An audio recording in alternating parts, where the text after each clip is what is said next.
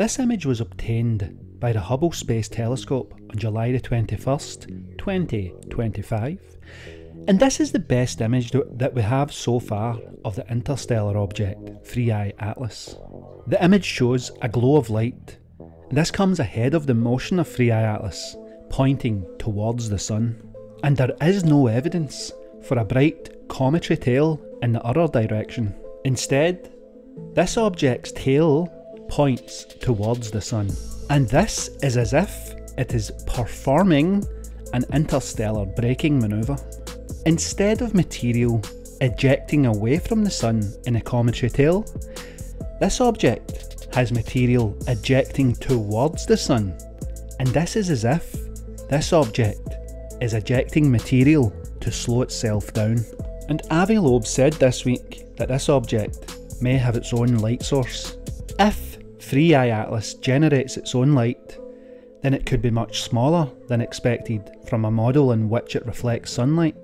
The reflection model requires a diameter of up to 20 kilometres, but this is untenable given that the limited reservoir of rocky material in interstellar space can only deliver such a giant rock once per 10,000 years or longer.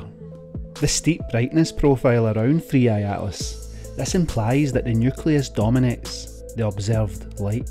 This must hold irrespective of the origin of light. In other words, the nucleus dominates over the emission from the glow around it. And illumination by sunlight alone cannot explain the profile of scattered light where the radial distance from the nucleus is apparent. And the simplest interpretation is that the nucleus of this object produces most of its own light. Alternatively, 3i Atlas could be a spacecraft powered by nuclear energy, and that this material emitted from its frontal surface might be from the dirt that accumulated on its surface during its interstellar travelling.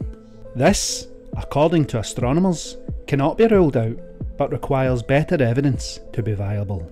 As of now, 3i Atlas is between the orbits of Mars and Jupiter and it's moving inwards towards its Sun close approach. And this will take place on October the 29th and 30th of this year. And astronomers have said that this may even be the oldest object ever observed.